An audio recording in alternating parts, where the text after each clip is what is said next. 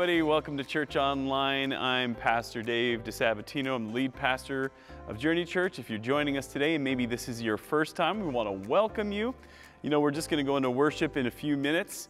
And right after that, we've got a few things we want to let you know about. And we'll go into our new summer series today. We're excited.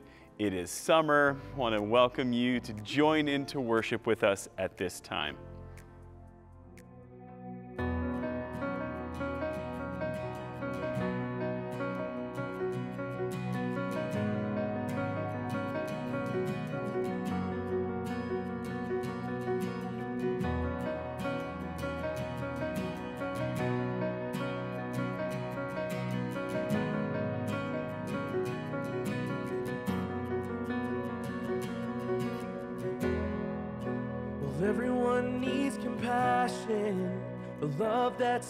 Never failing.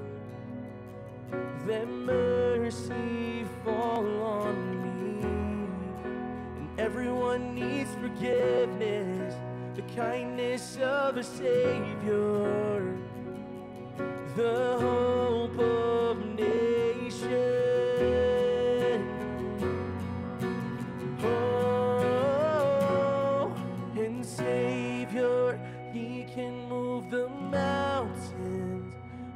God is mighty to save.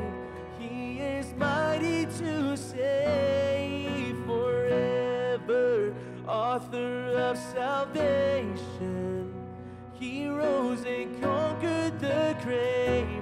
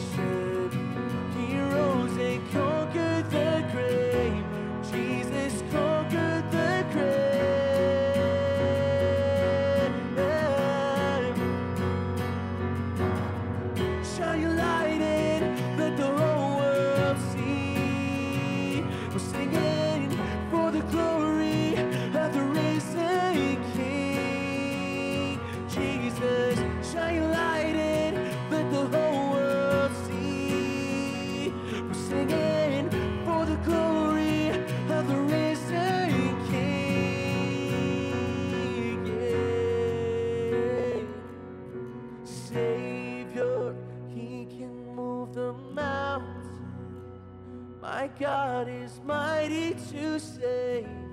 He is mighty to save forever. Author of salvation. He rose and conquered the grave. Jesus conquered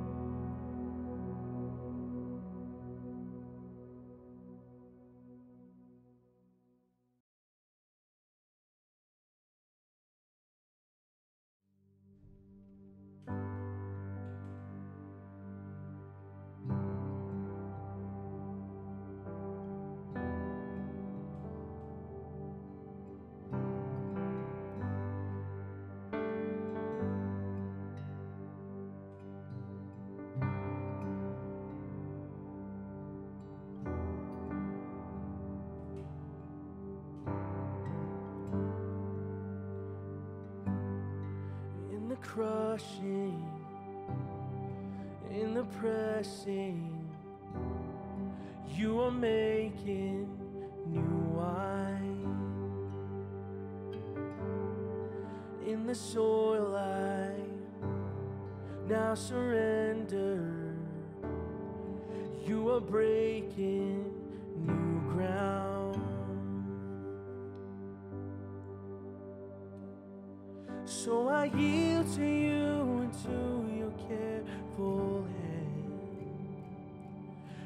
I trust you, I don't need to understand. So make me a vessel, make me an offering, make me whatever you want me to be.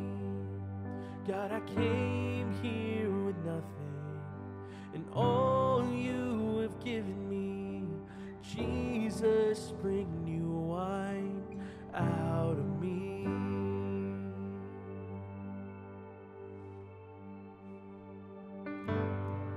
In the crushing, in the pressing, you are making new wine. In the soil, I now surrender. You are breaking new ground. You are breaking new ground. So make me your vessel. Make me an offering. Make me whatever you want me to be. God, I came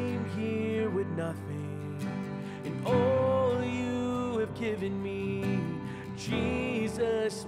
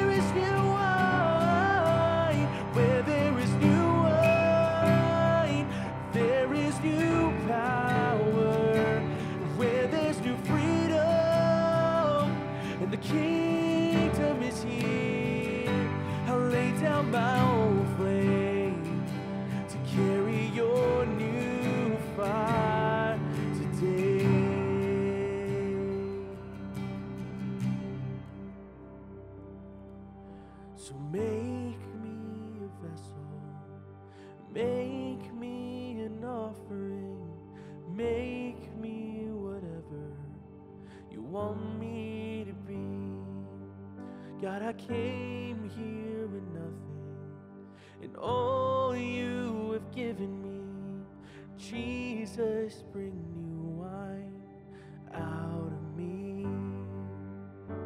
Jesus, bring new wine out of me. Jesus, bring new wine out of me.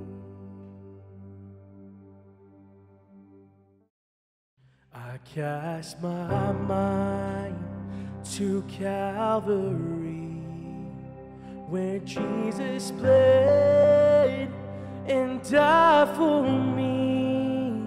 I see his wounds, his hands, his feet, my Savior on that cursed tree.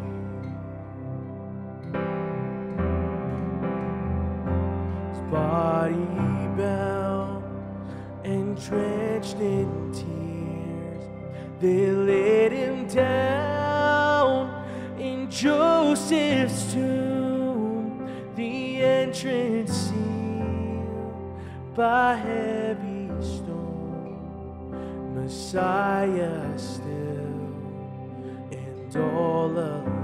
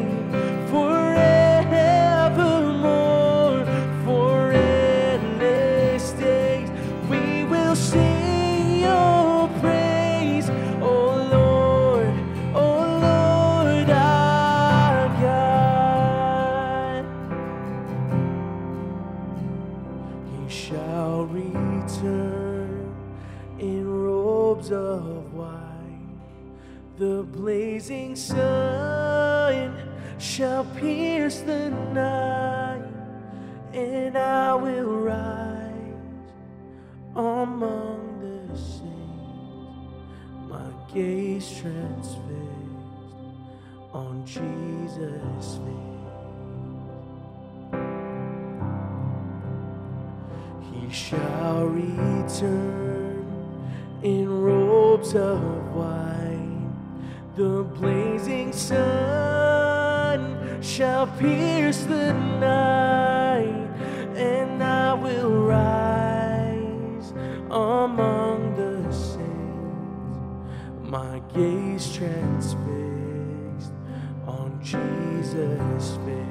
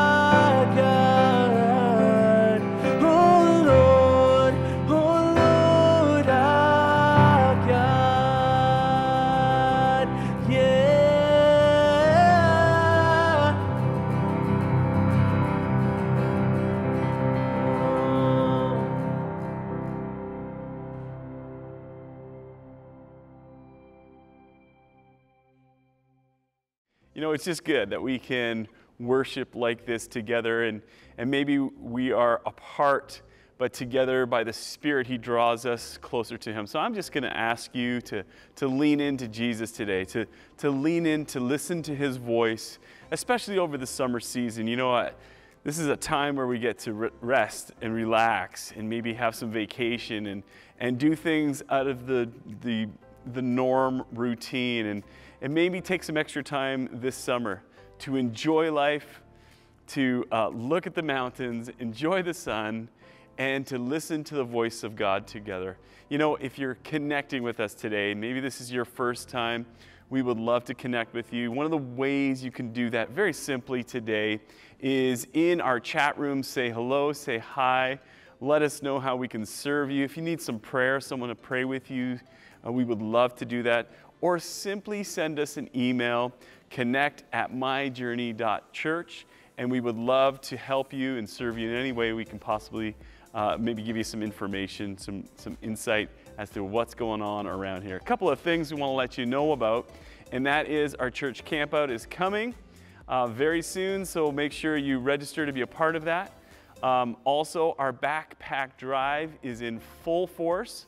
July 24th is the last day to bring a backpack full of supplies for kids in the fall semester. Believe it or not, we're thinking about it now for the fall semester. So if you want to do some shopping, bring those backpacks in. If you would just like to send a donation, please feel free to do that. We'd love to be able to support kids as they go back to school in the fall. I uh, want to say thank you. Thank you for your generosity. You make what we do every week possible. It's your, your donations, your financial stewardship that allows us to meet the needs of people in our community through the backpack drive, through uh, different things that we do in our city to make a difference. It helps us to turn on the lights, but more importantly, it helps us to minister to people who are in need. So I want to say thank you from the bottom of our hearts to continue serving in this capacity, continue giving. Uh, if you're not yet a Kingdom partner, simply go online, Kingdom Partners, and find out how you can donate today. Thank you for your generosity in your giving, your tithes, your gifts are making a difference. There's many ways to do that today, so please find a way that makes sense for you. All right, without further ado, we're going to go into the message in just a moment. And we've got Josh Thomas, one of our young leaders here at the church who leads in a number of different areas. He is going to present his life verse, a verse that has spoken to him as we go into our series today.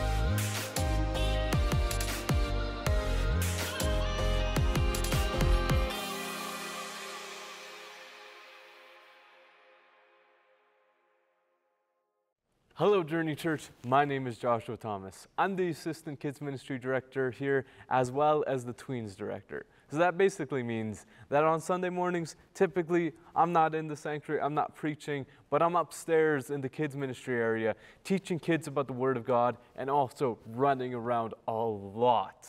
we have, we have lots of fun up there. We teach them about God, we run around, we just do a lot of activities up there. It's great. I love what I do. And on Fridays, every other week, I'm also up in the kids' ministry space where we have our tweens events, where we have kids, students in grades four to six gather and just, again, have fun, learn about God, and build relationship with each other. We're hoping that we can establish long-lasting relationships with these kids between ourselves and between them so that they get those lifelong relationships and friendships that really carry you throughout your whole life. So I want to encourage you, if you're a parent who has a student in grades four to six, I want to encourage you to send them to tweens so they can really experience uh, what it is to fully have fun with people their age and learn about God at the same time. It's a great experience for them to just build relationships, have fun, and do things like that. Uh, a little bit more about myself, other than my job positions, is I'm actually a university student right now. I'm in, going into my third year of university uh, at Ambrose University, where I'm studying Christian studies. Now, this means that I really have, I'm really in the, in the, in the depth of all of the insanity of university. Just gone through a really crazy semester, and it's a, a definite reality where you have those sleepless nights. I've had those, and those papers due at like 11:59, and you submit that at 5 a.m. the next morning, hoping that the prof doesn't exactly see that you snuck it in a little bit later than usual and getting all of those sleepless nights and deprived, uh, sleep deprived moments. But it also means that I'm, I'm really busy, running around a lot. But it's great. I, I love what I'm learning at Ambrose, but it's definitely like if you have had a university experience, you can relate to those, those moments of just, oh boy, I got to get this assignment done. Oh no, it's 11:59. Oh wait, Two hours passed already. It's two o'clock. Oh no, I got to submit this no matter what. So that's, that's, that's the struggle I'm in, in a little bit. So, one of the other things, uh, I'm always kind of busy right now with, uh, with my work, with university, and all of these things. And one of the things that keeps me busy is that I have to do a lot of shopping for the events here at church uh, tweens, kids' ministry, all of that stuff. So the Walmart uh, that's nearby the church has definitely become a friend of mine, where we go and we just we grab a bunch of supplies, stuff like that. It's it's a good resource, but also outside of the Walmart, sometimes there's people with signs. Uh, I noticed them here and there, uh, but definitely a little bit more last year. Uh, I was going into a Walmart and I saw a person with a sign that read, uh, I, I just lost my job and I need to feed my family for today. And I went inside the store to finish my shopping, looking for stuff. And as I was exiting the store, I remembered the person that was there with the sign. And I was thinking, oh, maybe, maybe I should uh, just go and uh, pick up some stuff for them. Oh, maybe I can give them a little bit of cash. But then something went into my mind. A little thought weaseled, weaseled its way into my head. And it was maybe somebody else will help them. Somebody else will help them. I don't have to help them. And this thought, it is a really dangerous thought that often comes into our heads that somebody else can take care of a person, that somebody else can deal with this issue. But this thought, I believe, is one of the most dangerous thoughts that can sneak into our head when it comes to us being Christians. Because it takes the responsibility away from us and takes the responsibility that Jesus gives us to bring justice to this world, which is why I believe that Micah 6 8, he has shown you, O mortal, what is good and this is what he requires of you to seek justice, love mercy, and walk humbly with your God. Now, if we let this, this idea of somebody else will help these people sneak into our head, then we can't fulfill the call from Micah 6 8. There are two sides to a coin. And on one side lies justice, and the other side lies righteousness. They're held together in relationship with each other. And this holy tension and holy relationship comes from how far and different these ideas can become when they're taken to their extremes. On one side, righteousness can be taken too far and be too much about the law, the letter of the law, carrying all of that out. For me, a few weeks ago, I got sick. And that meant that I had to miss a lot of work and I couldn't go to church on Sunday. And for me, these things really made me upset. They caused me to be upset with myself that I couldn't get things done that I needed to get, get done, that I needed to finish. I also grew frustrated because I felt a responsibility that I had to be at the church. I had I felt the responsibility to cre- to create the sense of self-righteousness that comes from doing the work of God for God. And I was later on convicted by my thoughts. When I realized I was trying to do things for God, but almost to prove my own righteousness, to prove my own self righteousness. But in reality, we have to accept the grace that is offered through Jesus that gives us our righteousness. But to continue in that righteousness given to us by Jesus, we must also carry out justice. We must act justly. We cannot be righteous without justice, and we cannot fulfill God's justice without righteousness. The coin of justice and righteousness is one connected unit. It's still the same thing. It is one unit that is inseparable from each other. But let's be honest. In our own power, we cannot save the world even though we'd, we'd like to try, we'd like to go out and save everything. But in our own power, we can't. Justice outside of its relationship with righteousness results in humanism.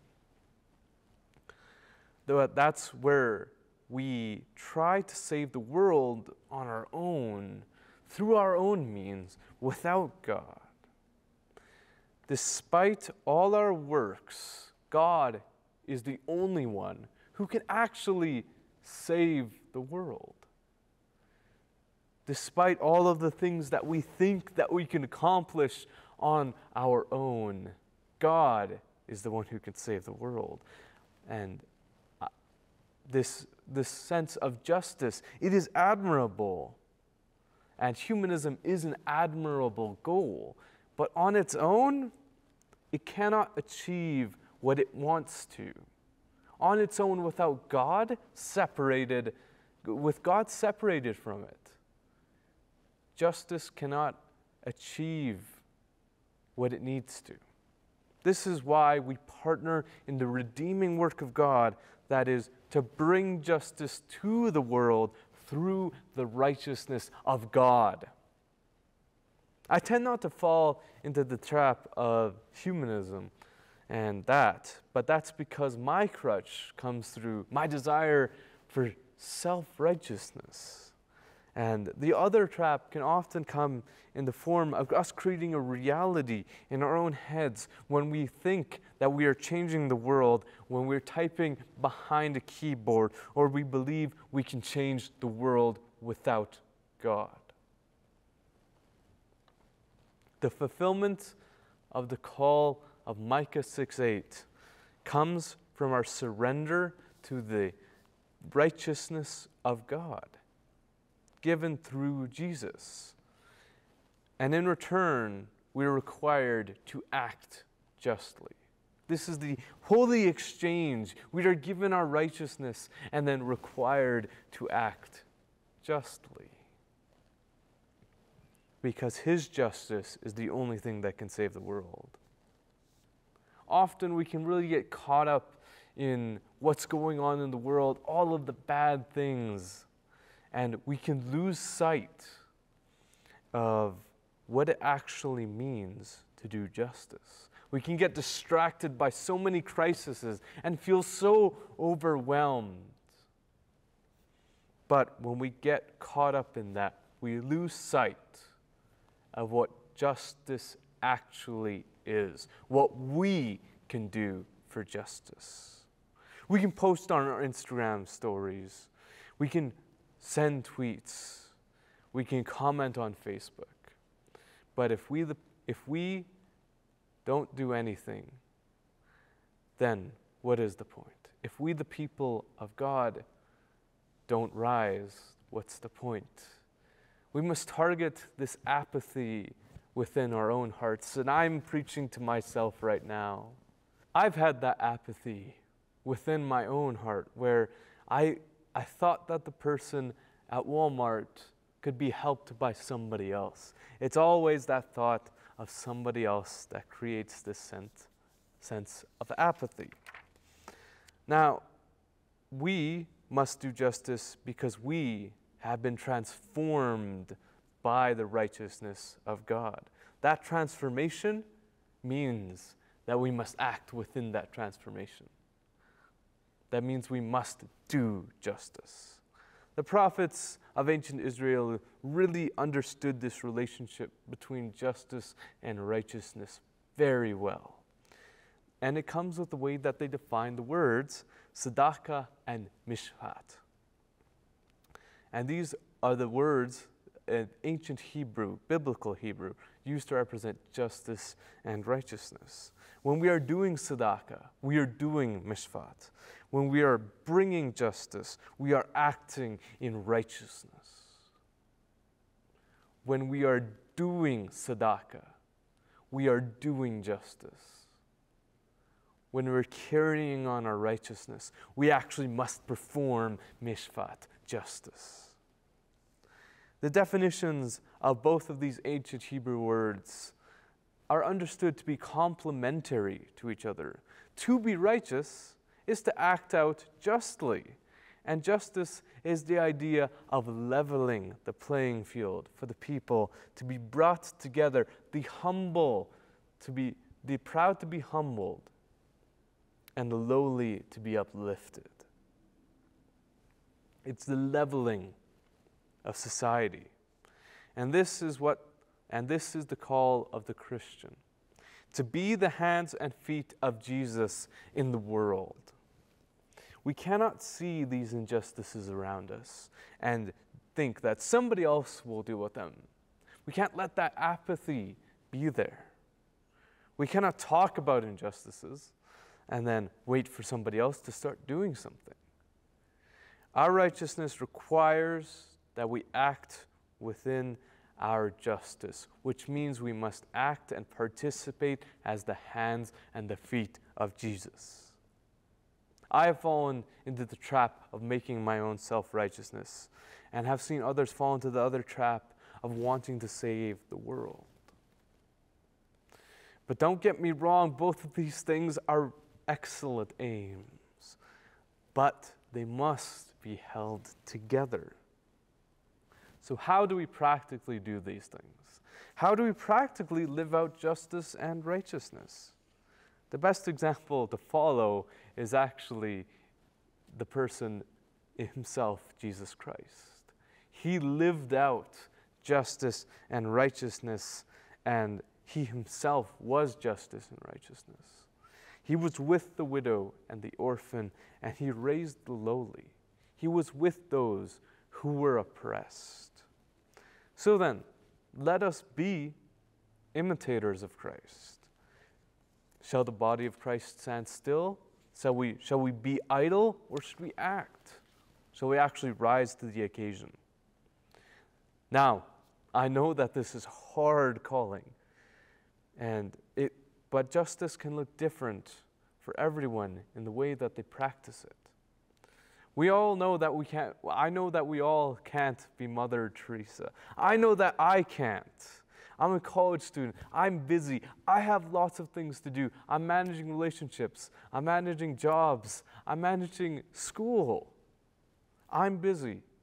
There are those out there who are parents. You have, you're looking after your kids. You're looking after a whole bunch of things in your house. Everybody is busy, but we still must act. I still must act. Can we be fathers to the fatherless, mothers to the motherless? There are those amongst us in this church and in this city who need those parental figures. And you can be that. We can be that for them. If you're a father, a mother, a grandmother, a grandfather, a, a single person, you can be that for somebody. Take a student out once in a while and show them the love of Christ. Teach them, love on them, and just show them that they are loved. And that can be really transformative on their lives for the rest of their lives. It can change the trajectory of one person's life if you do that. In the same way, can we mentor the young? Can we have generational mentorship? Can we have those who are full of their years mentor those who haven't experienced everything yet? Can we have parents raising up their children in the way of the Lord so they might not turn from the way of righteousness? That's also another way to fulfill justice. These are all ways to call you call us together to fulfill this call of justice. These are things that we can do right now in this city, in this moment. Furthermore, can we see people, when we see people with signs, when I see people with signs in front of Walmart sitting there, we shouldn't think it's somebody else's responsibility. We should take that onus and we should be the hands and the feet of Jesus to them. For those who don't have responsibilities and families yet, we can do so much more to serve the problems of the world instead of doing something, instead of doing nothing. Can we partner with organizations? Let's partner with organizations in the city. Uh, let's partner with the Mustard Seed, Salvation Armies, and so much more within the city that help carry the burden of others who cannot carry it on their own. There are also those of us who feel the call to missions uh, outside of our city. So you can participate with transforming the world that way. Let us care for the widows and the orphans in our midst. Let's take the burden from the people that are carrying heavy burdens. Let's cook meals for those who need them. Let's walk with people through the valley of the shadow of death. Can we also participate with kingdom partners? This is why we do kingdom partners, so we can show God's justice to this world through that. And you can participate with that by donating to that, donating to kingdom partners that's where we're sending, we're, we're supporting missionaries, organizations in this city and all across the world to carry out God's justice. That, that is why we do Kingdom Partners. I want to invite you to get to know this Jesus that we've been talking about this whole time. If you don't already know him, I want to invite you into this relationship with him because I, when I made my relationship with Jesus so many years ago. I was transformed from the inside out. My experience has been where I have been in the church all of my life, but I didn't really get to know who God truly was until I made my faith my own. And when I did that, I was transformed by his righteousness to to have this burden for other people. And sometimes I can ignore that burden and become apathetic towards that burden. But it, there's, this, there's this, this fire within me that doesn't allow me to ignore these things anymore. When I, I have become transformed by Jesus. So if you want to be transformed with Jesus today, let me pray with you. God, thank you so much for sending your Son to pay for all of my sins. Thank you that He has redeemed me and saved me, set me free. And I just, I want to give you my life so that you can transform me from the inside out, so that I can be your hands and feet of justice and righteousness in this world. If you said that prayer, we are so excited today. We are, we are ecstatic to see that you have joined into the kingdom of God where we can carry out the mission of justice and righteousness today. And if you, you have already said that prayer, if you already know Jesus, I want to encourage you if you're feeling apathetic towards these things, that that apathy would be broken, that we would be set free from that together. And I'll encourage you, lastly, with this one last thing. To make things full circle, a couple of months ago, I went to a Shoppers Drug Mart, and another person was sitting outside of the Shoppers, and I, I noticed that he was homeless and he needed some stuff. So I went into the Shoppers, and I bought the stuff I needed to. And as I was coming up, coming out, the thought did come into my head that somebody else can help this person. But I was convicted by the Holy Spirit, and the Holy Spirit said, Josh, you are that person. You can be that person.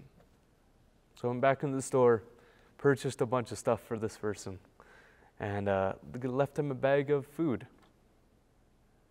That's our, that, that, that's, that should give us hope that we don't have to stay this way, that we can be transformed, that we don't have to let apathy win, that we can be the hands and the feet of Jesus today.